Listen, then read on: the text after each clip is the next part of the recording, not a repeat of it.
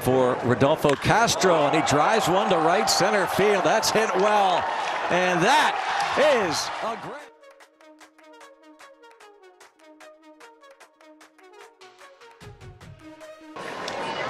There's a ground ball backhanded by the third baseman Castro. Long Hey. throw, the stretch, and a.